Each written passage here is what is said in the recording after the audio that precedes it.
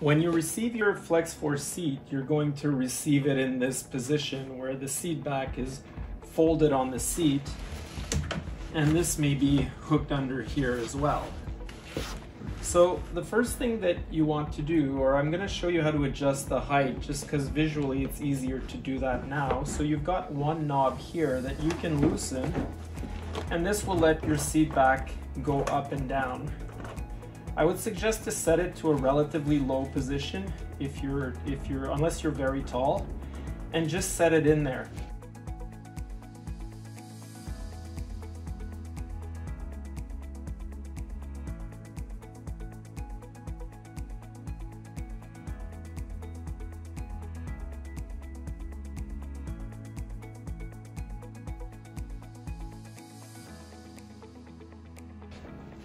Second step is to position the seed back in the holder so that it holds uh, straight.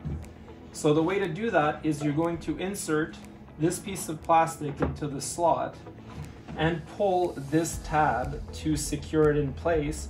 And finally, you're gonna use this bungee to keep it in a, in a locked back position. So here's how that works.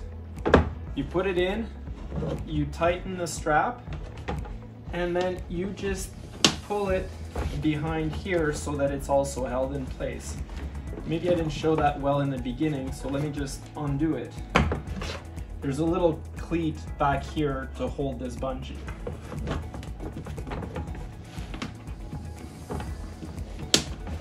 So once you've got that, your seat is in place. The other adjustments that you have are the adjustment here to your right, which when you pull on it, will pull the seat forward and if you loosen it, it'll go backwards. And the other adjustment that you have is the leg lifter, which is this adjustment here, which pulls up and down your legs so that you can have better contact with your boat. And you can see in the other video um, why contact and proper positioning in your kayak is important. So we hope you find the seat comfortable and uh, happy paddling.